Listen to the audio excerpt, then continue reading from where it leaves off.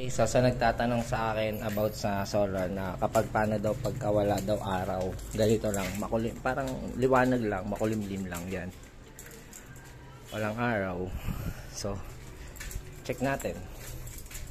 Okay, so check natin yung ating solar. Okay, so depende kasi yan. So, paano kino-compute. Okay, natin. Hmm, so makikita mo yung Meralco ko 00 kahit maliwanag. Kahit wala siyang araw. Di pa maandar yung off grid ko yan kasi 26.9 pa lang magti 27 pa lang yung off grid ko.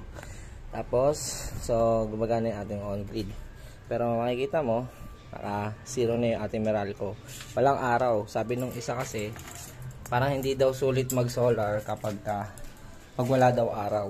So tignan natin yung Meralco natin. Walang araw yan guys ha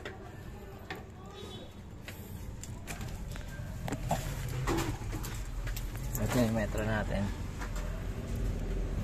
Makita so ayun no naka naka ayun, naka 00 po siya ngayon.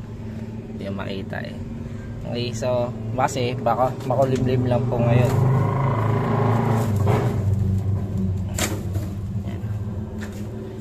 Wala siyang araw liwanag lang po. Ayan. Ganyan lang siya. Ba? Sabi kasi nung isa, parang hindi daw parang hindi daw sulit kasi ah, liwanag lang daw yung na nakukuha niya. So, pero makikita mo naman, 'di ba? So, naka 00 po siya ngayon. Ayan oh. So, 00 siya ngayon. Ibig sabihin, ah, yung Meralco ko, wala binabasa ngayon. Okay. Ayan, medyo dadagdagan ng konti pero binabalik niya ulit sa zero. Okay, so yun. On grid pa lang yan guys na gumagana. Okay, depende po yan kung paano kino-compute yung load doon kasi meron kasama po talaga sa computation po yung uh, ang tawag dito weather diba? kasi hindi mo naman masasabi yung weather kung makulimlim maliwanag dapat kasama yung sa pag-compute mo yung kulimlim talaga niya yung medyo parang ganyan lang, slight lang liwanag niya. So, sabi nila hindi daw sulit kasi pag wala daw araw, pag wala daw araw, wala daw, ano, wala daw solar. Pero hindi po totoo yun, okay? So, mapapansin mo po, ayan o, naka, gumagana po siya. So, nas, ayan, di ba naka 0-0 siya. Ayan, nadadagdagan ng konti, pero, tapos, babalik niya ulit sa 0.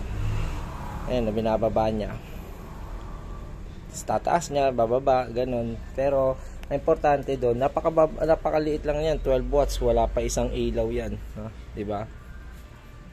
Yan. So, yun lang, dapat pag nagko-compute ng solar is kasama yung uh, weather, dapat doon nakasama yung pag walang araw, dapat papasok pa din yung on-grid doon. So, libawa is ang load mo ay 1,000 na nga, dapat hindi 1,000 lang yung capacity na ikinakabit mo sa solar nyo.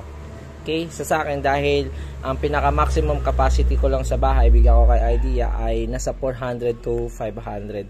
Pero ang setup ko ay nasa 1,100. Okay, 1,100. So, meron na siyang allowance doon. Plus, meron pa akong 1 wa, meron pa akong off-grid na 1 kilowatt. Okay, so, 'di ba?